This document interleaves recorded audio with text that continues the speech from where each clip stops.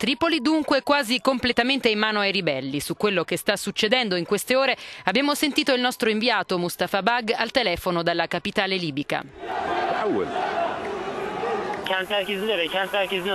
La battaglia è ancora in corso nel centro della città e in periferia. I ribelli sono molto motivati perché ieri sono entrati nel centro di Tripoli.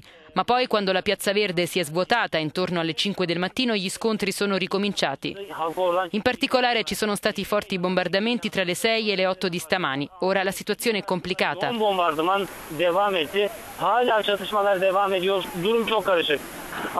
Ho parlato con un comandante ribelle, loro dicono che Gheddafi è andato via e che stanno combattendo con i mercenari che Gheddafi ha riunito da diverse parti dell'Africa, ma io non sono in grado di confermare esattamente che Gheddafi abbia lasciato Tripoli o la Libia.